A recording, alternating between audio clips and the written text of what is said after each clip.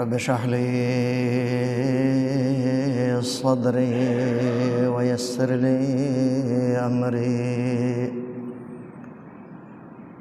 واحلل عقدة من لساني يفقه قولي.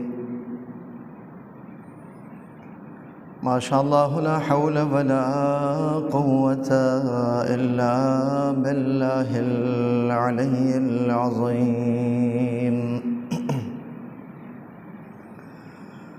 أعوذ بالله من الشيطان الرجيم. بسم الله الرحمن الرحيم.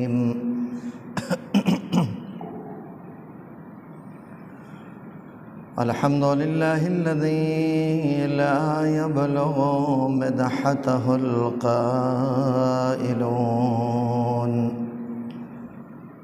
ولا يحصي نعماءه العادون ولا يؤدي حقه المجتهدون الذي لا يدركه بعد الهمم ولا يناله غوص الفطن. الذي ليس لصفته حد محدود ولا نعت موجود. ولا وقت معدود ولا أجل ممدود. فتر الخلائق بقدرته ونشر الرياح برحمته وودد بالصخور ميدان أرضه.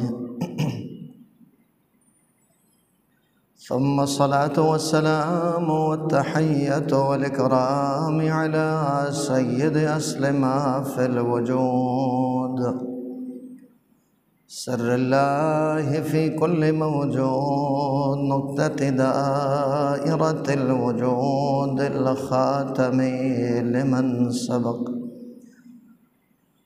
والفاتح لمن غلب. معلن الحق بالحق بالقاسم مصطفى محمد.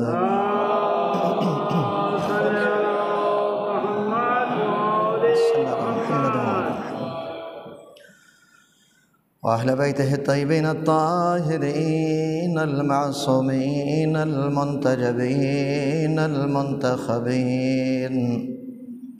لا سيما بقية الله الأرضين مهدي المنتظر. أرواحنا وأرواح العالمين بتراب قدمه الفداء. والجنة للمطيعين والنار للعاصين أما بعد فقد قال الله تبارك وتعالى في محكم كتابه. وهو أصدق القائلين وقوله الأحسن. بسم الله الرحمن الرحيم. ومن شكر فإنما يشكر لنفسه. ومن كفر فإن الله غني كريم. بر محمد وآل محمد صلوات.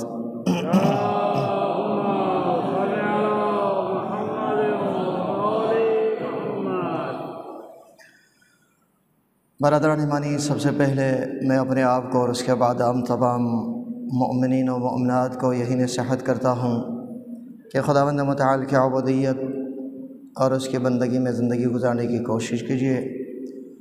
تقو اور پرہیزگاری کے ساتھ عوامر علاج پر عمل کرتے ہوئے نواحی الہی سے اجتناب کرتے ہوئے، حلال چیزوں کو استعمال کرتے ہوئے، حرام چیزوں سے اجتناب کرتے ہوئے، جائز و ناجائز اور محرم و نامحرم میں تمیز کرتے ہوئے زندگی گزارنے کی کوشش کیجیے تاکہ دنیا بھی سنور جائے اور قیامت میں بھی کامیابی اور سرفرازی نصیب ہو۔ پروردگار عالم نے عالم انسانیت کی ہدایت کے لیے، عالم انسانیت کو رشد و کمال کی طرف لے جانے کے لیے، عالم انسانیت کو اشرف المخلوقات کی منزل پر فائز کرنے کے لیے ایک لاکھ چوبیس ہزار انبیاء کو مبعوث برسالت فرمایا۔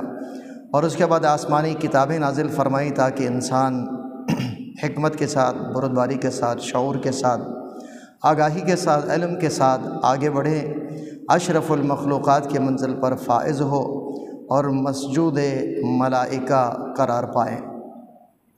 انسان کی زندگی کے اندر بہت سارے امور، بہت سارے قوانین موجود ہیں۔ اسلام کی روح سے، شریعت کی روح سے، قرآن و سنت و سیرت اطرت علیہ السلام کی روح سے اور انہی قوانین سے ایک قانون صبر اور شکر کا ہے۔ جب تک انسان اللہ کی دی ہوئی نعمتوں پر شکر ادا کرنے میں کامیاب نہیں ہوگا، جب تک انسان اللہ کی طرف سے عائد کردہ امتحانوں میں صبر کرتے ہوئے ان امتحانی مناظر کو طے نہیں کرے گا، اس وقت تک عالم انسانیت کی عظیم ترین منزل پر فائز انسان نہیں ہو سکتا۔ اسی لیے باری تعالیٰ سورہ نمل کے اندر یہ رشاد فرما رہا ہے کہ ومن شکر فنما یشکر لنفسه ومن کفر فن ربی غنی کریم اگر کوئی شخص شکران نعمت کرتا ہے، شکر کرتا ہے، کسی بھی اللہ کی دی ہوئی نعمت کے اوپر شکر بجا لاتا ہے، اگرچہ انسان کا وجود خود اللہ کا دیا ہوا ہے اس بات کی طرف متوجہ رہنے کی ضرورت ہے۔ انسان ایک زمانے میں موجود نہیں تھا، اس زمانے میں موجود ہے، کل معدوم ہوگا ظاہری طور پر، لیکن معنوی اور روحانی طور پر وہ معدوم نہیں ہوگا، بلکہ عبد الآباد کی زندگی پائے گا۔ یہ ہمارا عقیدہ ہے۔ اسلام کا روش ہے، اسلام کے، اسلام کا قانون ہے۔ اس قانون کو ملحوظ نظر رکھنا یہ بھی ضروری ہے اور ساتھ بھی اس کے علاوہ باقی جتنی بھی نعمت الہی ہے چاہے وہ کھانے پینے کی شکل میں ہو، رزق کی شکل میں ہو، مال کی شکل میں ہو، اولاد کی شکل میں ہو، دولت کی شکل میں ہو، یا مثال کے طور پر روز مرہ زندگی کے اندر استعمال ہونے والی چیزوں کی شکل میں ہو، ان چیزوں کے اوپر شکر کرنا، یہ بھی اسلام کی روح سے اور شریعت کی روح سے مومن اور مسلمان کی ذمہ داری ہے۔ اب اس ذمہ داری کی ادائیگی اگر کوئی کرتا ہے، اگر کوئی انسان اللہ کی دی ہوئی نعمت پر شکر ادا کرتا ہے، تو نعوذ باللہ خدا کی خدائیت میں اضافہ نہیں ہوگا۔ پروردگار عالم کو کوئی فائدہ نہیں ہوگا، بلکہ پروردگار عالم خود ارشاد فرما رہا ہے وہ من شکر فائن نمائش کرو لنف سے جو کوئی شکر کرتا ہے، وہ اپنے لیے شکر کرتا ہے، کسی اور کے اوپر کوئی احسان نہیں کرتا۔ اور دوسری جگہ پر ارشاد فرما رہا ہے کہ لَإِن شَكَرْتُمْ لَأَزِيدَنَّكُمْ وَلَإِن كَفَرْتُمْ إِنَّ عَذَابِ لَشَدِيدَ اگر تم شکرانہ نعمت کرو گے تو میں نعمتوں میں اور اضافہ کروں گا۔ نعمتوں میں اضافہ ہوگا تو فائدہ کیسے ہوگا؟ خود انسان کو ہوگا، شکر کرنے والے کو ہوگا۔ اور اسی طریقے سے پروردگار عالم خود یہ ارشاد فرما رہے وہ من شکر فعن شکر النفسی جو کوئی شکران نعمت کرتا ہے وہ اپنے لیے کرتا ہے، کسی اور کے اوپر کوئی احسان نہیں ہے۔ اگر وہ شکر کرے گا تو اس کی نعمت میں اضافہ ہوگا۔ اگر وہ شکر کرے گا، اسے اور زیادہ مال ملے گا، اور زیادہ نعمتیں ملے گی۔ نتیجہ کیا ہوا؟ نتیجہ یہ ہوا کہ شکر کے بدلے میں انسان کو نعمتیں، نعمتوں میں اضافے کی شکل میں اور نعمتیں ملی۔ ایک نعمت پر شکر کیا تو اس نعمت میں اور اضافہ ہوا، اس کے اندر اور زیادتی آئی۔ تو لہٰذا انسان کو یہ روش اختیار کرنا ہوگا۔ کہ اگر کوئی انسان شکران نعمت کرتا ہے، در حقیقت وہ اپنے لیے کرتا ہے، کسی اور کے اوپر کوئی احسان ہرگز نہیں کرتا۔ وَلَئِن وَإِن كَفَرْتُمْ إِنَّا رَبِّي لَغَنِيٌ کریم۔ اگر کوئی کفران نعمت کرتا ہے، شکران نعمت یہ ہے کہ اللہ کی دی ہوئی نعمت کو اس کی راہ میں خرچ کرے۔ اللہ نے دولت دی ہے تو رشتہ داروں کی مدد کرے، یتیموں کی مدد کرے، فقیروں مسکروں کی مدد کرے۔ اللہ نے دولت دی ہے تو بیواؤں کی معاونت کرے، مدد کرے۔ جن کے پاس لباس نہیں ہے، جو سال سال میں ایک دفعہ لباس سلوانے پر بھی قادر نہیں ہے، ان کو لباس سلا کر دے۔ یہ کیا ہے؟ شکران نعمت شکران نعمت یہ نہیں ہے کہ انسان تسبیح پکڑ کر شکر اللہ شکر اللہ شکر اللہ کرتا ہے۔ یہ زبان کا شکر تو ہے لیکن عملی میدان کے اندر شکر کیا ہے؟ عملی میدان کے اندر شکر یہ ہے کہ خدا کی دی ہوئی نعمت کو اس کی راہ میں خرچ کرے۔ یہ عملی میدان کا شکر ہے۔ زبان کا شکر تو یہ ہے کہ شکر اللہ کرے۔ الحمد للہ پڑھے۔ لیکن عملی میدان میں شکر ادا کرنے کی ضرورت ہے، جس کے فقدان کی وجہ سے آج رشتہ دار ایک دوسرے کی طرف تک رہے ہیں، لیکن ایک دوسرے کی مدد کرنے کے لیے تیار نہیں ہے جو کوئی رشتہ داری سے رشتہ داروں سے قطع تعلق کرتا ہے تو اس کی عمر کم ہو جاتی ہے، روایت کے اندر موجود ہے۔ یہ ناگہانی اموات کیوں آ رہی ہے؟ یہ طرح طرح کی بیماریاں کیوں آ رہی ہے؟ کہیں پر ایکسیڈنٹ میں مر رہا ہے تو کہیں پر شوگر کے ذریعے سے مر رہا ہے تو کہیں پر فالج کے ذریعے سے مر رہے ہیں تو کہیں پر کسی اور طریقے سے مر رہے ہیں یہ آفتیں کیوں نازل ہو رہی ہے؟ اس کی وجہ؟ جاننے کے لیے آج بھی ہم تیار نہیں ہیں۔ اس کی وجہ یہی ہے کہ رشتہ دار ایک دوسرے کو دیکھنے کے لیے تیار نہیں ہے ایک دوسرے کی مدد کرنے کے لیے تیار نہیں ہے ہم تین وقت، چار وقت، تین وقت کھانا اور تقریباً دو، تین ٹائم چائے بھی پیتے ہیں اور پاس میں موجود رشتہ دار کے پاس دو وقت کی روٹی موجود نہیں ہے۔ ناگہانی موت نہیں آئے گی تو کیا آئے گی؟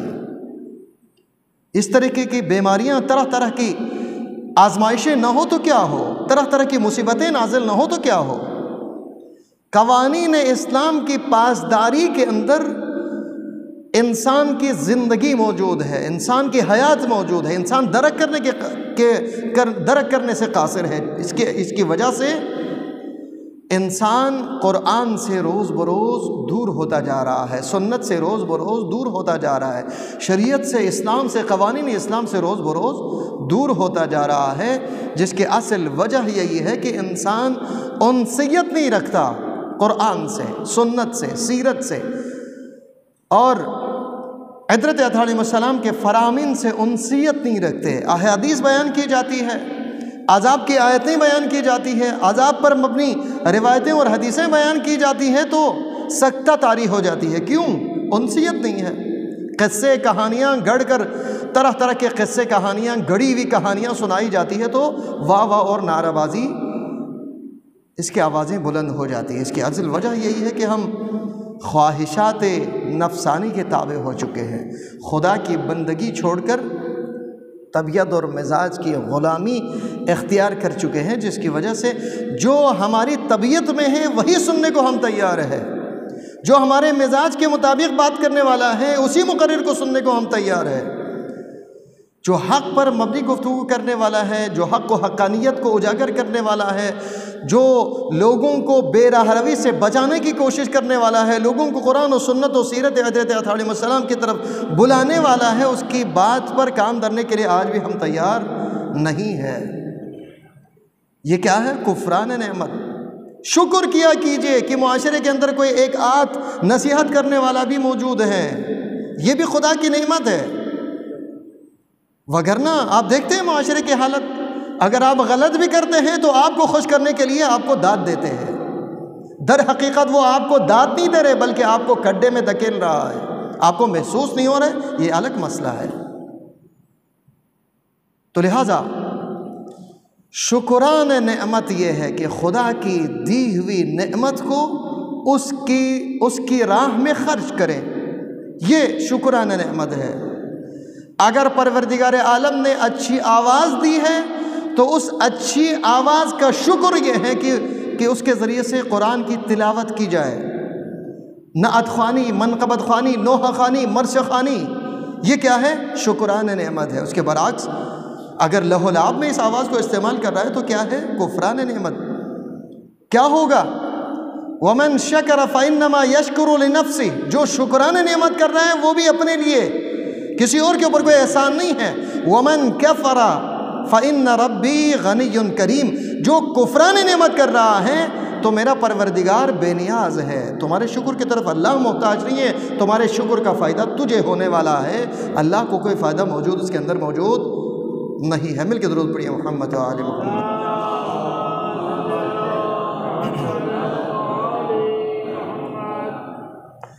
تو لہٰذا جو پروردگار عالم کی عبودیت اور بندگی میں زندگی گزارنے والا انسان ہوگا، وہ خداوند متعال کا شکر ادا کرتا ہوا نظر آئے گا۔ شکران نعمت کا مطلب یہی ہے کہ خدا اگر نعمت دے تو بھی شکر کرے، اگر خدا مصیبت دے، آزمائش اور امتحان کے لیے تو بھی شکر کرے۔ یہ مومن کا طریقہ ہے۔ یہ مسلمان کا طریقہ ہے۔ مسلمان کے کا طریقہ مسلمان کی روش یہ ہونی چاہیے۔ مسلمان کو چاہیے کہ وہ اللہ کی رضایت پر راضی رہے۔ اللہ مصیبت میں دیکھنا چاہتا ہے تو بھی اسی پر راضی رہے۔ اللہ نعمت دے دے تو بھی اس پر راضی رہے۔ یہ مسلمان کا طریقہ ہے۔ اسی لیے مولا کائنات امیر المؤمنین علی ابن ابی طالب علیہ السلاۃ والسلام یہ ارشاد فرماتے ہوئے نظر آتے ہیں کہ آخری حصہ ہے روایت کا ان نقن عبد اللہ شکرن فتل کا عبادت الاحرار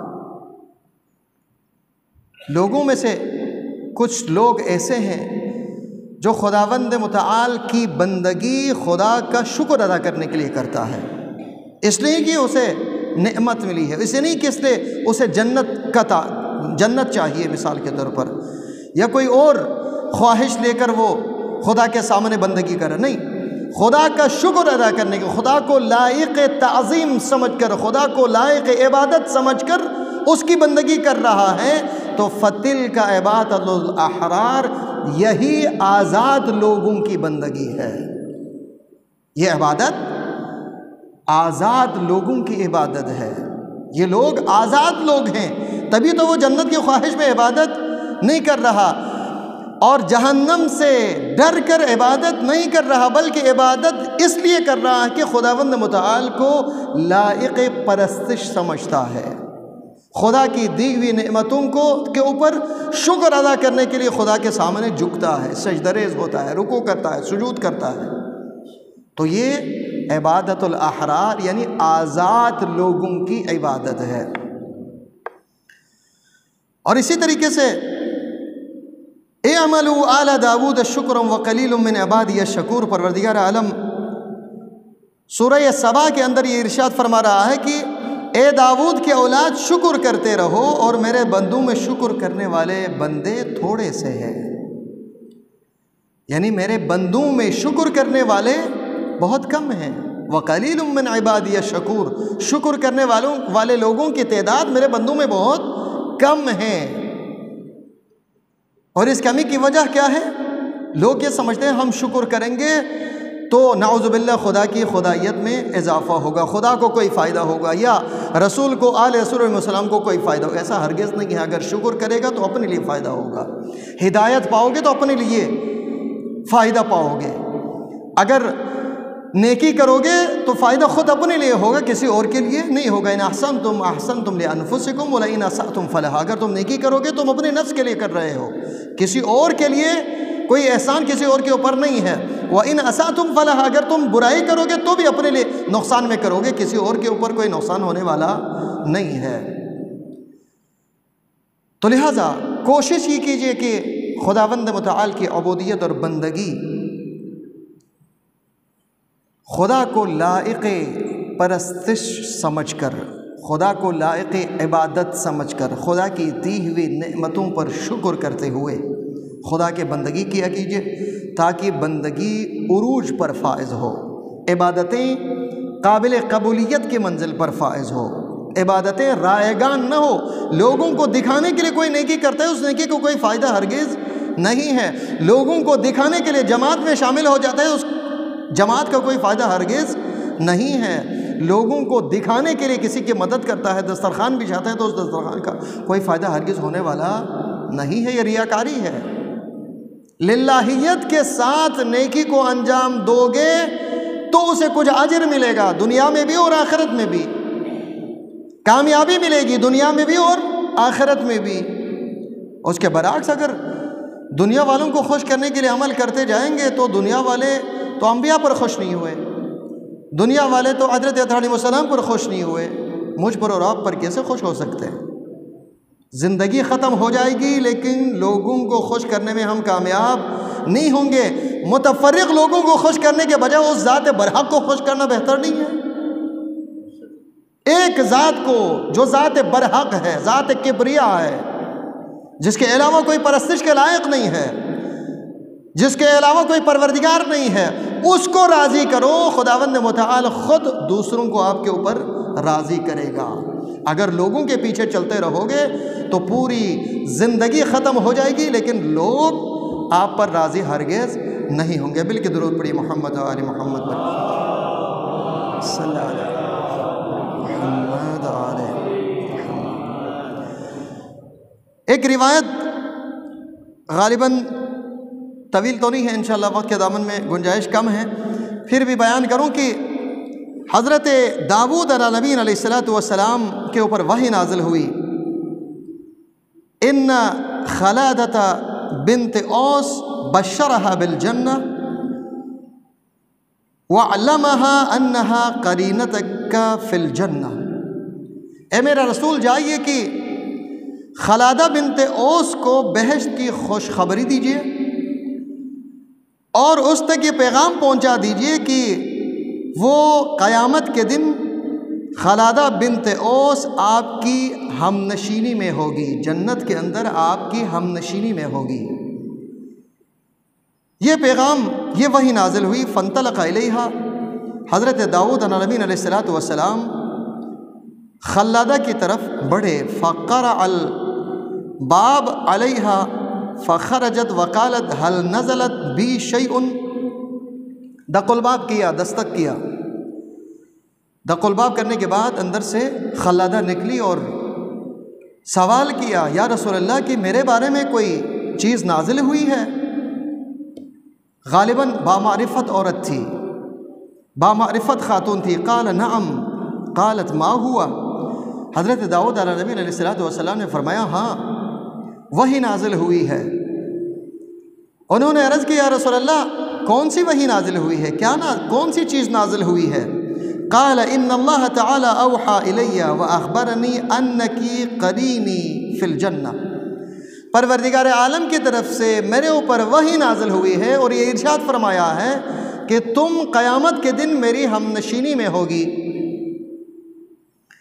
جنت کے اندر و ان ابشر کے بالجنہ اور تجھے جنت کی بشارت بھی پہنچائی ہے۔ قالت، ان یکون اسم وافق اسمی، کیا یہ نام میرا نام ہی ہے؟ کیا یہ بشارت مجھے ہی دی گئی ہے؟ یا کسی اور کو تو نہیں دی گئی؟ یعنی وہ استفسار کر رہی ہے، سوال کر رہی ہے۔ یا رسول اللہ، یہ بشارت مجھے دی گئی ہے، کیا اس نام کے کوئی اور ہو شاید اسے؟ یہ پیغام تو نہیں ملا ہوگا، یہ بشارت تو نہیں دی ہوگی۔ کال ان کی لنت ہی بتحقیق تم ہی ہو، تمہارے علاوہ اور کوئی نہیں ہے۔ قالت، یا نبی اللہ، ما اکذبک۔ اے رسول خدا، میں آپ کو جٹھلا تو نہیں سکتی۔ ولا واللہ ما اعرف من نفسی ما وصفتنی بھی خدا کی قسم، میں نہیں سمجھتی کہ اس طرح کی کوئی بات میرے اندر موجود ہو جس کی وجہ سے میں جنت کا مستحق قرار پائی ہو۔ مجھے تو نہیں معلوم۔ کال داود علیہ السلام، اخبرنی ان ضمیر کا و سریرت کا ماں ہوا۔ تم مجھے یہ بتاؤ کہ کون سی صفت تمہارے اندر موجود ہے؟ کون سے اچھے کام تم کرتی ہو جس کی وجہ سے تجھے جنت کی بشارت ملی؟ قالت، اما حاضہ فخبر کبھی اس چیز کے بارے میں تو میں آپ کو ضرور بتاؤں گی۔ اخبر اخبر کا ان لم یوسی بنی و جمع عقت تو نزل بھی کا انم ماکان ولا نزل ذربی و حاجتاً وجوع کا انم ماکان اللہ صبر تو علیہ۔ اس نے عرض کیا ہاں اس کے متعلق میں عرض کرتی ہوں، وہ یہ ہے کہ مجھے جب بھی اور جیسا بھی درد ہوتا ہے، کوئی تکلیف ہوتی ہے، کوئی مشقت ہوتی ہے، جب بھی نقصان، تکلیف، ضرورت اور بھوک ہوتی ہے، تو ان سب پر صبر کرتی ہوں۔ حتیٰ کہ خداوند متعال کے سامنے بھی یہ مشکلات بیان نہیں کرتی۔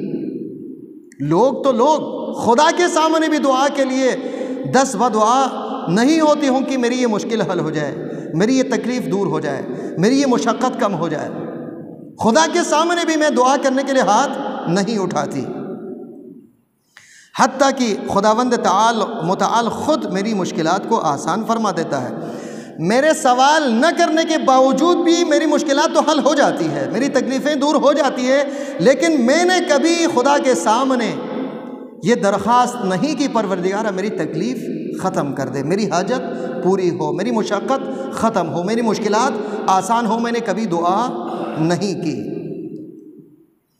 ولم اطلب بها بدلا وشکرت اللہ علیہ اور اس کے بدلے میں کوئی چیز میں نے پروردگار عالم سے طلب نہیں کی، بلکہ ان تکلیفہ تکلیفوں کے اوپر، ان مشقتوں کے اوپر میں نے خدا کا شکر ادا کیا۔ اور اللہ کا شکر بجا لاتی رہی۔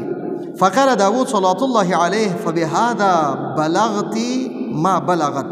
داؤد علیہ السلام نے فرمایا کہ پس اسی بنا پر تم اس مرتبے پر فائز ہوئی ہو۔ یعنی اس شکران نعمت کی وجہ سے۔ چاہے نعمت کی شکل میں ہو، چاہے درد و مشکلات اور تکالیف کی شکل میں ہو، ہر حالت میں شکر کرنے کی وجہ سے ایک عام خاتون پروردگار عالم کے رسول کے ہم نشینی میں جنت کے اندر ہوگی۔ ثم قال ابو عبداللہ علیہ السلام، پھر امام جعفر صادق علیہ السلام نے فرمایا کہ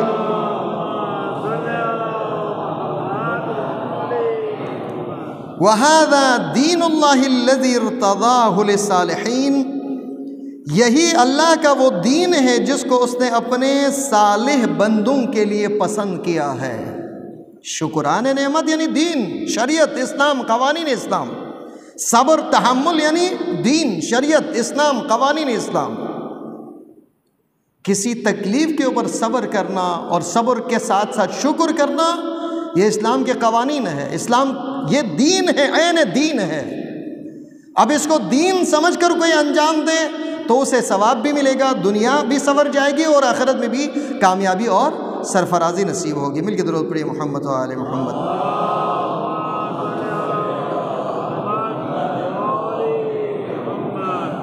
اسی طریقے سے مولا امام صادق علیہ السلاۃ والسلام کا فرمان بہار الانوار کا بہار الانوار کی حدیث ہے نحن صبر وشیعتنا اصبر منا۔ ہم صابر لوگ ہیں اور ہمارا شیعہ ہم سے زیادہ صابر ہے۔ شیعہ بننے کی ضرورت ہے۔ در حقیقت مسئلہ یہاں پر آ کے مشکل بن جاتا ہے کہ شیعہ بننا مشکل ہے۔ شیعہ بن جائیں تو مولا یہ فرما رہا ہے کہ ہم صابر لوگ ہیں اور ہمارا شیعہ ہم سے زیادہ صابر ہے۔ وَذَلِكَ إِنَّا صَبَرْنَا عَلَى مَا نَعْلَمْ۔ وہ اس لیے کہ ہم ان چیزوں پر صبر کر رہے ہیں جن کو ہم جانتے ہیں۔ مصیبت آتی ہے، مشکلات آتی ہے، قربانی دینی ہوتی ہے۔ یہ ساری چیزوں کو ہم جانتے ہیں اور جانتے ہوئے جاننے والی چیزوں کے اوپر ہم صبر کر رہے ہیں۔ وہ صبروہم مَا يَعْلَمُونَ۔ اور ہمارا شیعہ ان چیزوں پر صبر کر رہے ہیں جن کو وہ جانتے تک نہیں ہے۔ انجانی کے عالم میں صبر کر رہے ہیں، لہٰذا ہم صابر لوگ ہیں اور ہمارا شیعہ ہم سے زیادہ صبر کرنے والے لوگ ہیں۔ یہ کب ہوگا؟ جب حد و حدود الہی کی پاسداری ہوگی۔ جب خداوند متعال کے قوانین کی پاسداری ہوگی تو شیعیت کے زمرے میں ہم داخل ہو جائیں گے۔ معاشیاتنا اللہ من تقلّہ و طاعتہ میرے اور آپ کے پانچویں سرکار امام محمد باقر علیہ السلاۃ والسلام۔ یہ ارشاد فرماتے ہوئے نظر آتے ہیں کہ ہمارا کوئی شیعہ نہیں ہے سوائے اس کے کہ وہ تقوی الہی اختیار کریں اور خدا کی اطاعت میں زندگی گزاریں یہ دو صفات بیان ہوئی اس حدیث کے اندر۔ ایک تقوی الہی، دوسرا خدا کی عبودیت اور بندگی میں زندگی گزرے خدا کی اطاعت میں زندگی گزرے وہی ہمارا شیعہ ہے۔ نشاندہی وہاں سے اس طرح کی ہو رہی ہے۔ لیکن لیکن یہاں پر یہاں پر ہمارے روز مرہ زندگی کے اندر جو رسم و رسوم کے اتباع نہ کرنے والا ہے، وہ کو یزیدی کا لقب دیا جاتا ہے۔ یعنی ہم خود خدا بن بیٹھے ہیں معاشرے کے اندر، جس کی وجہ سے معاشرت تباہی کے دانے پر پہنچ چکا ہے۔ کسی کو کافر قرار دینا، کسی کو مسلمان قرار دینا، کسی کو اپنا قرار دینا، کسی کو پرایا قرار دینا، یہ خدا اور رسول کا کام ہے، ہمارا کام نہیں ہے، ہمارا کام خدا کی عبودیت اور بندگی میں زندگی گزارنا ہے۔ اس کو سمجھنے کی ضرورت ہے۔ دیندار بننے کی ضرورت ہے، دین بنانے والا بننے کی ضرورت نہیں ہے۔ دین کے اندر رکھنا اسی وجہ سے پیدا ہو جاتا ہے کہ انسان دین پر عمل کرنے کے بجائے دین کو اپنے مطابق چلانے کی کوشش کرتا ہے۔ انسان کی تباہی کے لیے یہی بات کافی ہے کہ وہ اپنے آپ کو دین کے قوانین کے اندر ڈالنے کے بجائے دین کو اپنی مرضی سے چلانے کی کوشش کرتے ہیں جس کی وجہ سے انسان بے روی کے شکار ہے۔ کتنے ایسے قوانین معاشرے کے اندر موجود ہیں دینی اور مذہبی اور شریعت کے قوانین جس کو ہم جس کے ہم لحاظ نہیں کرتے۔ صبر قوانین دین میں سے ہے، شکر قوانین دین میں سے ہے، تحمل قوانین دین میں سے ہے۔ پروردگار عالم کی نعمتوں کو، اس کی دیوی نعمتوں کو اسی کے راہ میں خرچ کرنا، یہ دین کے قوانین میں سے ہے۔ رشتہ داروں کی مدد، معاونت کرنا یتیموں کی، مسکینوں کی، فقیروں کی بیواؤں کی مدد کرنا، معاونت کرنا، یہ دین کے قوانین میں سے ہے۔ اور اسی طریقے سے کسی کے حق و حقوق پر ڈاکہ نہ ڈالنا، یہ ہم سب کی ذمہ داری ہے۔ اگر کسی کے حق و حقوق پر ضرب آ رہا ہے، تو اس کو بچانا یہ ہم سب کی ذمہ داری ہے۔